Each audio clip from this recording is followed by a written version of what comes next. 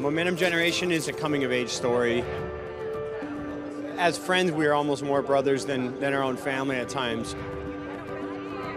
The film needed to be bigger than a sports film. It needed to go beyond a surf film and take on real universal themes.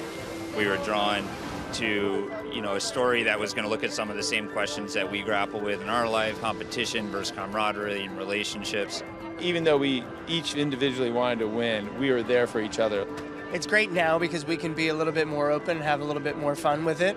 We're all in our 40s now but we we all kind of regress into little kids when we're together again. I think it shows a lot of us opening up to uh, sides that people have never seen. And now we're all standing here together side by side and as strong as ever